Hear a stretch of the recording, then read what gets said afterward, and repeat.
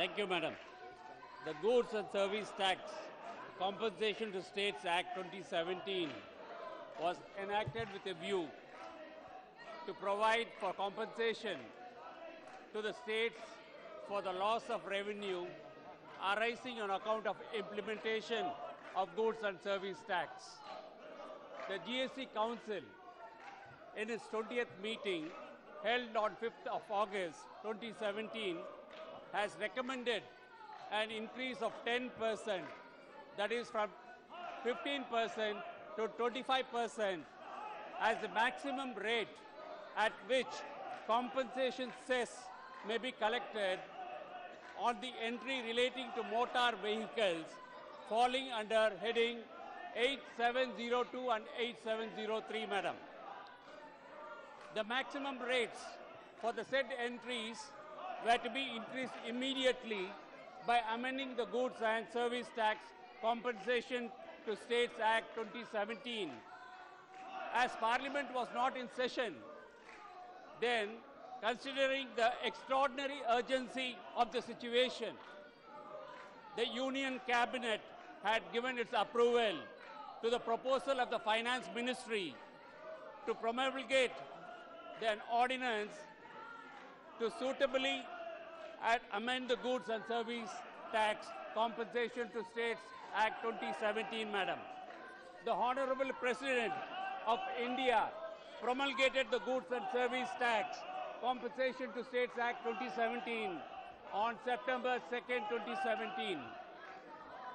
Madam, the approval to increase the maximum rate at which the compensation cess can be levied from 15 to 25 percent on A.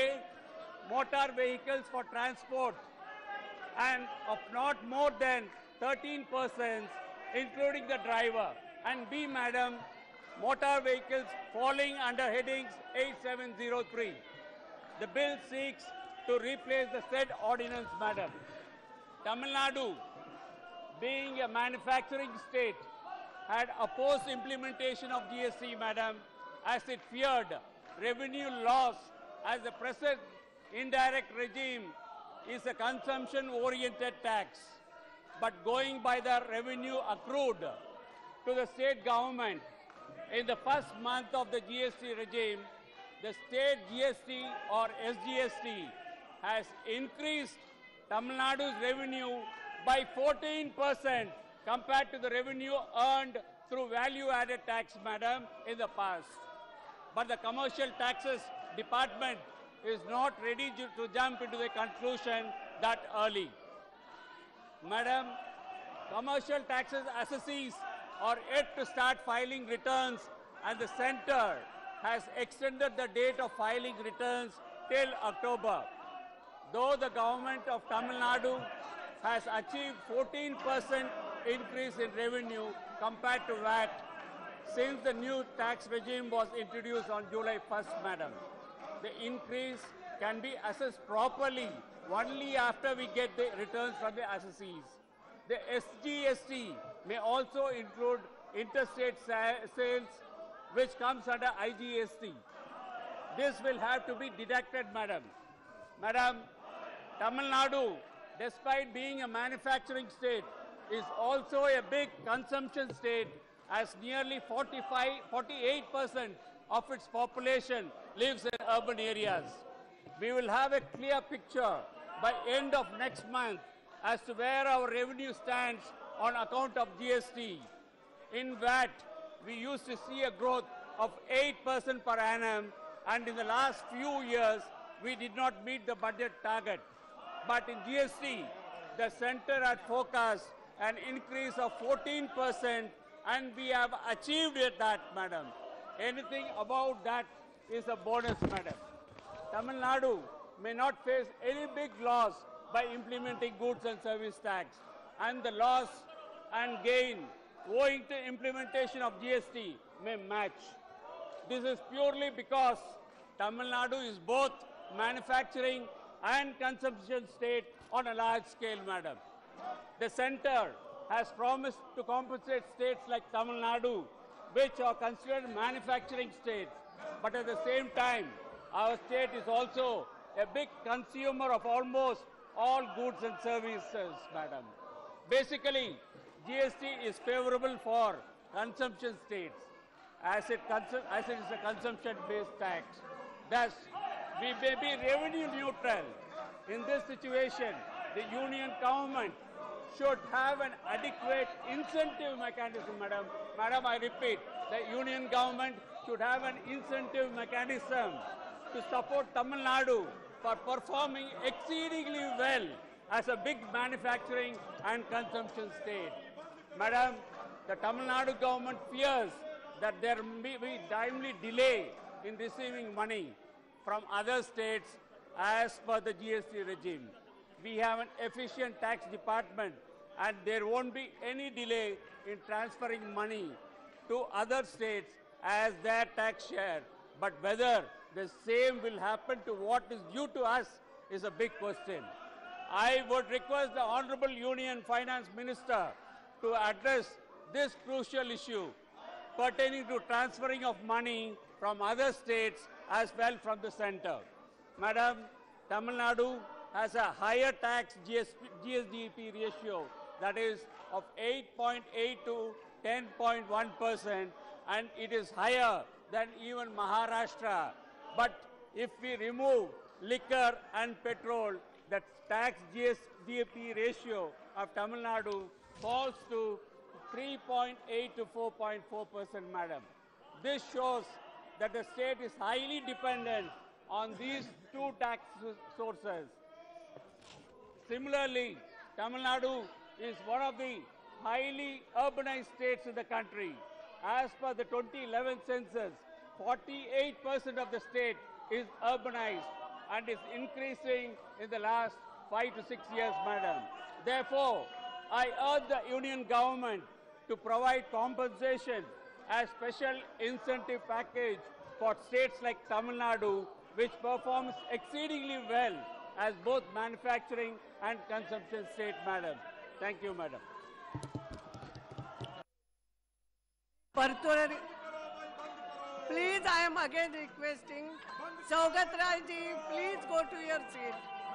Please, please. Saugat Rai please cooperate. Please cooperate. Please cooperate. I am again requesting you. Please cooperate. Please. Bhartrihari Mehtab ji, yes. Madam Speaker, I may be allowed to speak from this.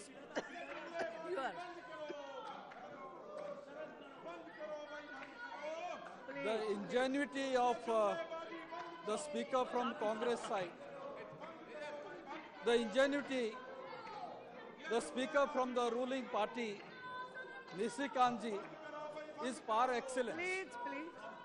Par excellence in the sense, in last Friday, in the private member bill, he has spoken for more than 50 minutes, and in this amendment bill, he has also spoken non-stop for more than 25 minutes, despite the turbulence in the House. Madam Speaker, the ordinance that has been brought, to which some members have raised objection, and the bill that is before us for consideration is actually to remove an anomaly that was crept in in the anxiety to pass the GST bill in last July. This bill, the GST came into existence, was implemented from 1st July. Already more than five months have passed and we will be completing six months in another three, four days time. But actually, the impact of GST can only be gauged after completion of January 31st, where the respective state governments, the provincial government will come to know how it has impacted our revenue structure. From our state, our position is, our party's position is, we have fully supported implementation of GST. We had some reservation relating to IGST, of course, but there are still certain concerns which needs to be addressed by the council.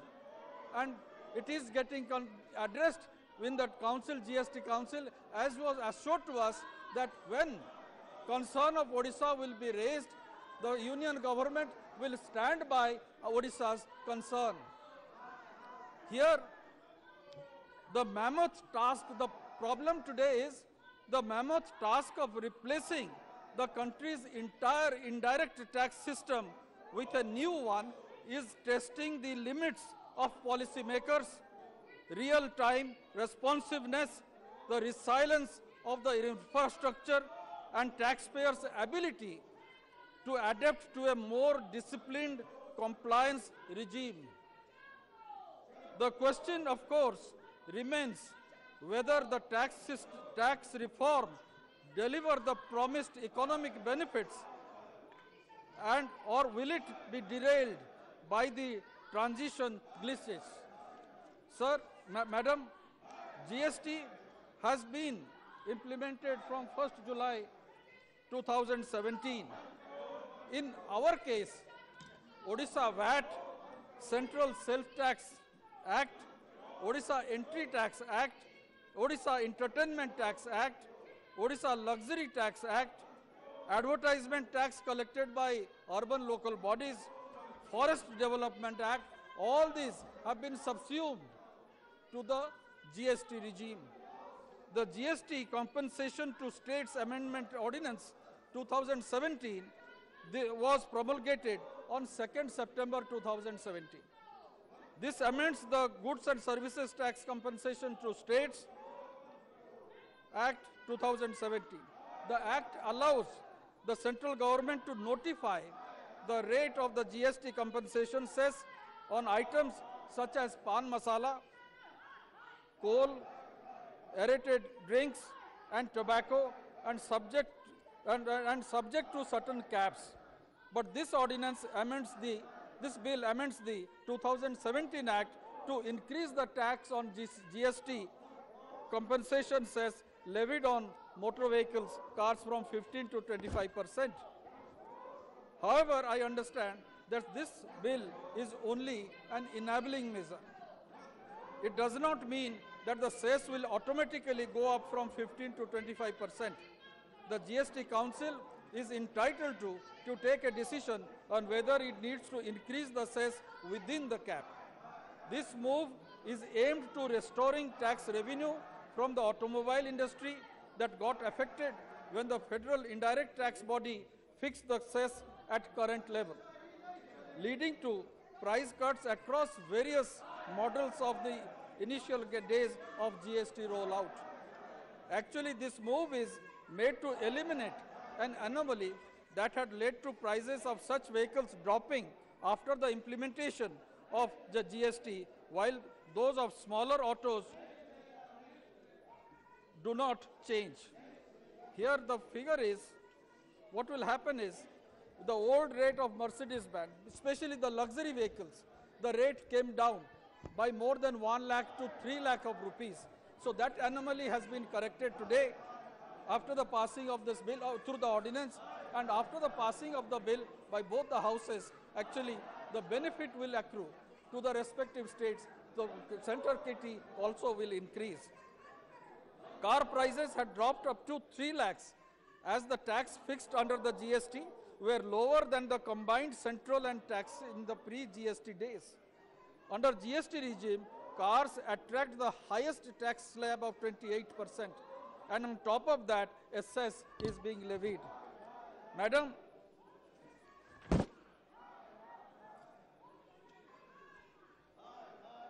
relating to the council has also decided to reduce rates on certain categories of handicraft. Besides khadi products sold through khadi and gram- village industries, stores will be exempted from GST. Here I would like to, here I would like to mention the, the here I would like to mention I would like to draw the attention of the Finance Minister, the letter that our Honorable Chief Minister had written to the Prime Minister, which clearly states that Odisha has large number of handicrafts and handlooms. And that is not exempted from GST. only khadi has now been exempted from GST And those khadi that are being sold in KVIC. Madam, a large number of weavers and artisan family exceeding more than 3.5 lakhs, साढ़े तीन लाख से ज़्यादा earn their livelihood from diverse production base, which is next only to agriculture. Odisha's handloom and handicrafts form an important part of our cultural heritage. These products are mostly used by the common people. Therefore, prior to uh, introduction of GST, the state government of Odisha had always exempted these products from value-added tax. In most of these products, there was no excise duty.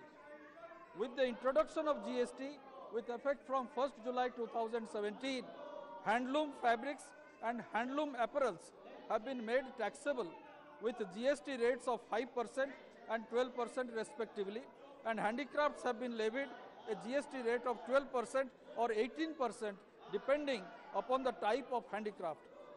Although our Odisha Finance Minister had strongly argued in the GST Council that handloom and handicraft should be kept in the exemption list, it has not been agreed to. This is likely to lead to the increase in prices of these products, which will adversely affect the livelihood of the poor families depending upon the production of these goods. Therefore, I urge upon this government to reconsider and impress upon the council because the finance minister had assured us in this house that wherever the Odisha state issue will come up, union government personally he will look into the matter. Therefore, I urge upon the finance minister to intervene in this and exempt handloom and handicraft items from the GST. Although on Odisha's proposal, another issue is it deal, deals with the tribal population of our state, especially the Mayurbhanj district of our state. Odisha's proposal of rate on sabai rope, there is a sabai grass which is grown in hill uh, terrain and there is a sada plates are uh, made from sal leaves.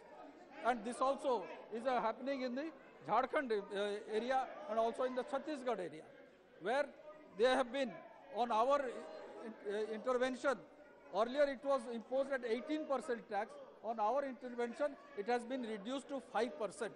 But I would urge upon the union government and want and uh, request the finance minister to impress upon the council so that that rate of 5% GST also should be totally exempt, uh, removed and it, these forest produce, minor forest produce, out of which a value addition is done by the poorer people of the tribal folk, that should be exempted from, our, from, our, from the GST. Sal, thali plates and sabai ropes need to be exempted on ground of livelihood of tribals. That is another issue which needs to be needs to be looked into by the council and also by the finance minister. There was no excise and VAT on these products prior to GST. So in addition, now because of GST, it is 5% is now being imposed, which is totally uh, should be exempted. My last point, madam, is I would like to move, make a state here is the current system of making payments upfront and claiming input tax credit refunds is not actually functioning properly. Lot of money is stuck in unclaimed refunds. And relating to automobiles, it is it, it is said that more than 1,000 crore is now stuck up with the government. If you take up other issues, other other uh, which is which is uh, being collected, it will be much more in thousands of crores. Therefore, that needs to be addressed as quickly as possible. There were teething problems in GSTN, but I hope these will be resolved gradually. Odisha actively participates in GST Council. We have supported GST, but there are certain issues which needs to be addressed as early as possible because already we are going to complete six months now and in another one month time we will know how much money will actually flow. Today, because of the compensation that is being paid as agreed as, per the law, we are getting 330 crores every month. So invariably during last three months, around 1,000 some odd crore have also flowed into our state. Similarly, as a consumer state, West Bengal has also received more than 2,000 crores of rupees. There are other states which are also getting compensation from from the from the, because of the GST regime. Therefore, I would request. Yeah, I am in support of this bill, uh, but I want certain amendments also to be made through the GST Council relating to the tribal interest and also for the handloom and handicraft artisans. Thank you, madam. Arvind Samant ji. अध्यक्ष महोदया एक महत्वपूर्ण bill आया छोटी सी चीज़ रह गई थी वो अपने ऑर्डिनेंस निकाल के फिर दोबारा उसको कानूनन प्रावधान करने की बात की है हम जब इसके तरफ़ देखते हैं, शुरू में हमने भी जीएसटी के लिए समर्थन किया। कुछ हमारे रिजर्वेशन थे, आपने उसका समाधान किया। आज आगे बढ़ रहे हैं। लेकिन हम क्या देख रहे हैं? हम जब सामान्य लोगों से मिलते हैं, अनंत कुमार जी यहाँ बैठे हैं, मैं उनको खास ध्यान देने के लिए बोलूँगा कि अगर हम इनकम टैक्स पे करते हैं, हम सब लोग इनकम टैक्स पे करते हैं। और इनकम टैक्स पे करने के बाद में हमारे हाथ में जो पैसा आता है, उस पैसे में से दोबारा जीएसटी भी जाता है। निशिकांत दुबे जैसे लोग हमारे इस पर जरा प्रकाश डाले तो अच्छा रहेगा कि अगर मैं पचास हज़ार मेरी तनख्वाह है तो मेरे छह लाख में से तीस प्रतिशत मेरा इनकम टैक्स गया। तो वो पैसे गए, उसके बावजूद मैं जो कुछ खरीदारी करूँगा, उसमें मुझे अठारह टक्का जीएसटी देना पड़ेगा। तो मेरे इनकम में से 48 टक्के पैसे जाने वाले हैं। क्या उसके ऊपर कभी हमने सोचा? आपके ही सुब्रमण्यम स्वामी जी बार बार ये कहते हैं, अगर जीएसटी लागू करना है तो इनकम टैक्स बंद करिए। तो डायरेक्ट टैक्स क्या बंद करने के या कम करने के बारे में सरकार कुछ सोच रही क्या? ये मेरे इस बिल के माध्यम से आपको सवाल है। क्योंकि जब तक इसका, आज भी कॉमन आदमी अगर देखो, जो तनख्वाह लेने वाला है लोअर मिडिल क्लास है, जिसकी तनख्वाह पचास हज़ार लाख रुपए भी पकड़ लो तो भी बारह लाख अगर तनख्वाह आई तो उसके तीस प्रतिशत गए। इनकम टैक्स में डिडक्ट होकर आ गए डायरेक्टली टीडीएस तो कितने गए? तीन लाख साठ हज़ार गए। बाकी बचे हुए पैसे में से जो कुछ खरीदारी करेगा, फिर उसके ऊपर अठारह टक्का टैक्स दे देगा। तो उसकी तनख्वाह, उसके इनकम में से 48 परसेंट इनकम टैक्स जा रहा है। उसके ऊपर कुछ समाधान करने की बात सरकार सोच रही क्या? गाड़ियों के ऊपर आपने 10 15 से 25 किया। अच्छी बात की, वो बड़े पैसे वालों की बात है। लेकिन गरीबों के बारे में मिडिल क्लास के बारे में ये सोच आवश्यक है। दूसरी बात जो हमारे भातुआरी जी ने, मेहताब जी ने कही, वो भी मेरे लिए महत्वपूर्ण है कि खास करके हमारे हैंडीक्राफ्ट वाले, हमारे ट्राइबल एरियाज़ में बहुत बेचारे गरीब लोग हैं, घर में कुछ बनाते रहते हैं, उनको भी आपको समाधान करने की आवश्यकता है, कुछ सहूलतें देने की आवश्यकता है। जब मेक इन इंडिया की बात करते हैं और जीएसटी की बात करते हैं तो देखिए कि वो भी हमारे मुख्य प्रवाह में आए और मुख्य प्रवाह में आने के लिए काउंसिल में इसके ऊपर ज़्यादा ध्यान देने की आवश्यकता है। इतना ही कहकर मैं इस बिल को समर्थन करके मेरे विचार वाणी को विराम देता हूँ। जय हिंद।